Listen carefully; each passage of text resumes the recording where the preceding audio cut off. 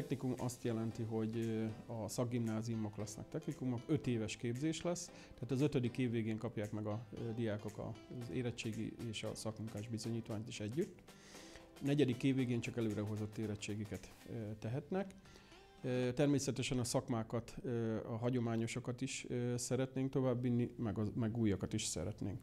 A technikumban marad az autószerelő, kereskedő, vendéglátós és a fodrász képzésünk. Ezeket tudjuk nyújtani. A három éves szakiskolai képzésünk, amely marad, ott pedig több mint 12 szakmára tudnak jelentkezni a diákok. Ebben benne van a pincér, szakács, eladó, új szakmaként a hentest tudjuk ajánlani, de természetesen a régi hagyományos asztalos, villanyszerelő, heggesztő, ipari gépész, mezőgazdasággépész, pék, kőművest és a festőmázoló tapétázót is szeretnénk indítani. Tehát vannak régi és vannak új szakmáink is. Jól felszereltek a tanműhelyek, és jól képzettek a szakoktatóink. Én bízom benne, hogy ez egy jó alapot ad, hogy a diákok meg tudják tanulni, tehát mesterévé tudnak válni a szakmájuknak. Mindenféleképpen arra törekszünk a jövőben is, hogy ezeket a lehetőségeket együtt a diákokkal az önkormányzat és a centrummal közösen, tehát fejlesszük a lehetőségeinket. Ehhez nyújt nagy mértékben úgy gondolom segítséget egy új komplex épületszárny, amely már építése elindult. Egy új autószerelő tanműhelyt és egy pékcukrász tanműhelyt fogunk tudni kialakítani az alsó szinten. A felső szinten pedig egy makerspace, úgynevezett digitális alkotóműhely labort fogunk 100 négyzetméteren kialakítani, ahol nagyon sok területet be tudunk mutatni a diákoknak, ez a 7-es, 8-as diákoknak lesz főleg, tehát a pályorientáció keretében, ahol ö, tehát interaktív módon tudják majd már még a leendő szakmákat megismerni, és bízunk benne, hogy ezzel kedvet kapnak, majd a diákok is és a szülők is, hogy, és azt tudják majd választani, amit majd szeretnének az életük során. A magas szintű gyakorlati oktatás a tagintézmény partner kapcsolatainak is köszönhető. Több mint 80 vállalkozással, céggel vagyunk kapcsolatban, a magánvállalkozótól, tehát a több ezeres céggel vagyunk kapcsolatban. Tehát a diákoknak az igényeit ki tudjuk elégíteni, tehát annyi gyakorlati helyünk van, hogy nincs annyi diákunk, és ez tényleg adódik, hogy válogathatnak is a diákok, hiszen a Jásság és Jászberény főleg rengeteg ipari termelőüzemmel rendelkezik, amely várja a jól képzett szakmunkásokat, és természetesen ehhez pedig a szolgáltatóipar kapcsolódik, hiszen ahol sok a termelő cég, ott a szolgáltatóipar is fejlődik, meg a kereskedelem is természetesen.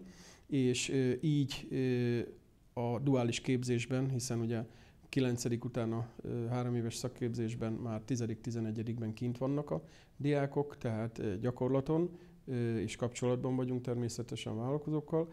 A szakgimnáziumban, majd a leendő technikumban pedig ugye tizedik után lesznek majd kinn a gyakorlaton a diákok. Tehát nyugodt szívvel ajánlhatjuk ezeket a szakmákat, bármelyiket, amelyiket indítunk, hiszen minden, minden területen kapcsolatban vagyunk itt a vállalkozókkal.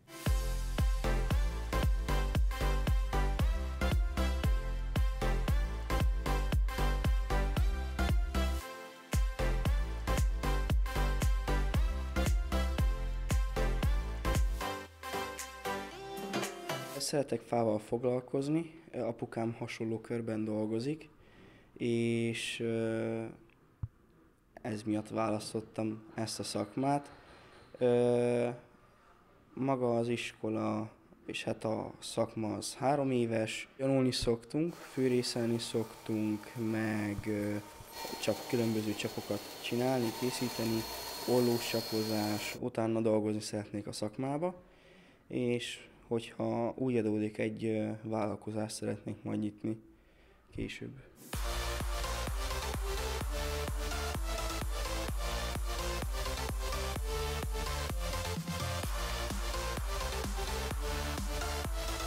Gyakorlatilag a elméleti oktatás, ami ugye a tanmenet szerint folyik, ugye itt nálunk ezt így mind be is tudjuk mutatni is. Az autószelő szakma már most mond hiány szakmává válik, és hát próbálunk minél több ilyen gazdálkodó szervel is ö, szerződéseket kötni, hogy ugye képzettebb, minél jobb szakmunkásokat tudjunk kihozni, vagyis hát át tudjunk adni ugye a termelésben majd. Két része van osztva. Az első, tehát egyik héten kint a gazdálkodó szerveknél vannak, a második héten ugye itt vannak bent a tanműhelyben, és akkor itt, ami ugye a, a kinti, illetve a, az itteni ö, oktatást ugye próbáljuk összehozni, ugye ez a duális képzés folyamán, és ö, a, hát durván egy hét áll rendelkezésünkre, ahogy ezt az egész heti anyagot úgy most mondhatnám, hogy ilyen tematikába lemondva át tudjuk nekik adni, és úgy, úgy ezt a gyakorlati helyen majd ugye próbálják ugye, gyakorlatba is átvinni, alkalmazni.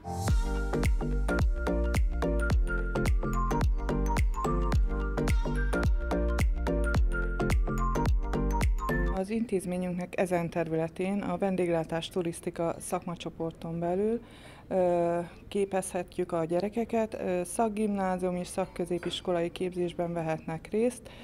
A szakmacsoportokat tekintetében itt a tanétteremben a pincér tanulókkal foglalkozunk, a konyha területén cukrászokkal, szakácsokkal, pékekkel, vendéglátás szervező vendéglősökkel találkozhatunk legtöbbször. A képzésünknek a lényege, hogy a szakközépiskolai képzésben három éves képzésben vesznek részt, a szakgimnázium területén pedig négy éves, plusz egy év a technikusi végzettséget, amit kaphatnak a gyerekek. A három éves képzés alatt a kilencedik évfolyamban a gyerekek a tanulmányaikat túlnyomó részt az iskolánk területén, és itt ebben az intézményben töltik el. A gyakorlatuk az iskolata műhelyében történik, és itt elsősorban a szakmai alapokat sajátíthatják el a gyerekek. Miután elsajátították, egy szintvizsgán kell, hogy részt vegyenek, és ezután pedig, ha sikeresen végezték el a vizsgát, utána pedig külső gyakorlati helyen a 10.-11. évfolyamban sajátíthatják el a szakmát. A három éves képzés alatt a szakma csinyát, binyát megtanulhatják, és a külső vállalkozók segítségével pedig a szakma minden területén részt vehetnek. A szakképesítéssel ezután pedig, mint szakemberekként, szakmunkás bizonyítványt kapva, majd utána a életben sajátíthatják még a szakma többi részét is. Lejjebb tartod a tálcát úgy, és akkor jobb oldalról jobb kézzel odállsz a vendég jobb oldalára, ráhelyezed először a csészét a csészehajra, és szépen óvatosan figyelsz, hogy a tálca súlypontja megváltozik, amikor leemeled róla, úgy, nyugodtan, jobb oldalról jobb kézzel, oda helyezed. Tökéletes. Jó. Mit mondunk? Jó étvágyat kívánok! Képzés mi elsősorban nagyon gyakorlatias képzéssel szeretnénk bemutatni a gyerekeknek, ami azt jelenti, hogy komplex anyagokat adunk le, ami az elmélet és a gyakorlat teljesen összhangban van egymással. Mint itt látják is mögöttem, a szakácsok nem csak azt tanulják meg, hogy hogyan kell az ételt elkészíteni, hanem utána hogyan kell azt tálalni. A pincérek ugyanígy vannak ezzel, hogy nem csak azt tanulják meg, hogy hogyan kell felszolgálni az ételeket, hanem mit is tartalmaznak az ételek. Ezért is van az, hogy legtöbbször úgy ö, alakítjuk ki a gyerekeknek az órarendjét, hogy a cukrá, ö, cukrász, a szakács, a pincér mindhárom szakma találkozzon egymással, megismerkedhessen egymás szakmájával, szakterületével. Ugyanakkor az élő munkával és az alapanyagok ismeretével itt az elméletet és a gyakorlatot is nagyon szépen komplexen össze tudjuk harmonizálni. Tehát az azt jelenti, hogy nem csak a ételekkel ismerkednek meg, hanem az élelmiszerekkel, az élelmiszerek összetételével, ugyanakkor azoknak a konyha technológiában hogyan tudjuk őket felhasználni. Innen a választéktól kezdem, ugye három részre választom, tehát egy sima holland fonást fogunk készíteni. Mindig csak az egyik oldalról veszem hozzá ilyenkor a tincset, és így fogom kialakítani ezt az S formát. Fodrász tanulók egy öt éves képzésen vehetnek részt. Érettségit is kapnak az öt év alatt, a negyedik évben ugye érettségit tesznek, és az utolsó egy év, amikor már csak a szakmai gyakorlatról szól az utolsó egy év, ugye, akkor teszik a gyakorlati vizsgákat. Már 9. osztálytól van nekik gyakorlati órájuk. Első évben a fodrász alapműveleteket sajátíthatják el, mind női és a férfi szakág feladatait. Tizedik osztálytól már elméletben a vegyszeres műveletekről is tanulnak, 11. osztálytól pedig már ez gyakorlatban is gyakorolhatják. 12. osztályban már ugye tényleg érettségiről szól, leginkább ez az év, és akkor 5. év, amikor már a gyakorlat. Szerintem nagyon népszerű ez a szakma, mind a lányok, mint a fiúk körében is. Most már egyre több a, a fiú tanuló is, egyre nagyobb divata van a férfi szakágnak is manapság. Úgyhogy nagyon sok tanuló van, hál' Istennek. Azt szerintem a fodrászokma soha nem megy ki a divatból. Tény, hogy nem hiány szakma, de fodrászokból soha nem elég.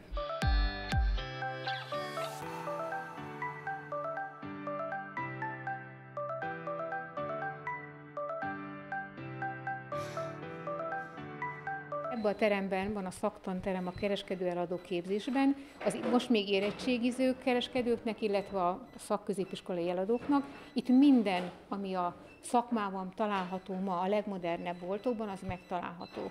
Ugye a pénztárgépek, ami ugye elektronikus és számítógéphez vezérelt pénztárgépek, ugye a mérlegek a szeletelőgéptől, a hűtőberendezésről, a pénzvizsgálótól, tehát mindent, amit mi ők az élet, életben kell, hogy elvégezzenek, itt mindent megtalálnak és megtanulhatnak, gyakorolhatnak. Ezen kívül természetesen van még egy másik szaktanterem, ami az élő környezetben, az a Kópszál ZRT-vel közösen a Kópáruházba, ott a gyerekek szintén a kópnak a készletével ismerkedhetnek, lemennek, kiszolgálnak, gyakorolnak, ott is számítógépet kezelnek, pénztárgépet kezelnek. Jó napot kívánok, mit adhatok? Jó napot kívánok, egy tejszíhabot szeretnék. Tessék. A szakgimnáziumban jelenleg itt csak nyári gyakorlaton vannak én a gyerekek, meg ugye ők elméletet, és itt bent tanulnak gyakorlati órát. Szakközépiskolában pedig elsőben szintén heti egy hét órában van kabinetfoglalkozás, szintvizsgát tesznek a gyerekek jövő tavasszal, ha a szintvizsgán megfelelnek, kimehetnek akkor a munkáltatókhoz, és akkor 60-40 százalék az arány, tehát 6 nap iskola, 4 nap gyakorlat.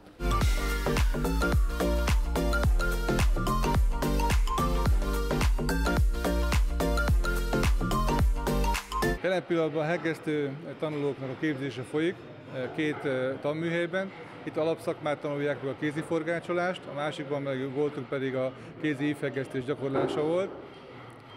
A tanműhelyünkben négy szakma van, villanyszerelő, forgácsoló, hegesztős, ipari gépész, régen ez volt a géplakatos szakma. Itt megtanulják a szakmáknak az alapjait, a készségszinten els, elsajátítják a szerszámok használatát, és ugye utána pedig a duális képzésben, képzőhelyeken vagy munkahelyeken folytatják tovább tevékenységeiket. 9 vannak csak nálunk a tanműhelyben, hetente két napot vannak, három napot pedig iskolában. Nagyon sokan keresik a heggesztőt, a forgácsost és a géplakatosokat. Az Electrolux, a Jászplasztik, aprítógép, de most már ugye a Fortakó, ők szokták többnyire alkalmazni tanulóinkat. Kint is vannak tanműhelyeikben. Nálunk nincsen írásbeli felvétel, egy, egyáltalán, tehát a nyolcadikos eredményeket nézzük, és egészségügyi alkalmassági vizsgálaton kell nekik megfelelni. Természetesen azokban a szakmákban vannak külön előírások, tehát speciális előírások is egyes szakmákban, szintévesztés, akkor látás-hallás, tehát mozgásszervi problémákkal nem lehet minden szakmát választani, de ez természetesen majd a beiratkozáskor, meg a beiratkozás előtt ez kiszűrődik. Van lehetőségünk, hogyha éppen arra a szakmára, akkor hasonlóra, vagy éppen más irányú, irányba, akkor a diák máshová menjen. Úgyhogy mi várjuk nagy szeretettel a diákokat innen a Jászberényből és a Jászságból is, de természetesen más helyről is, ahová, ha megtetszenek a tanműhelyeink és a képzéseink.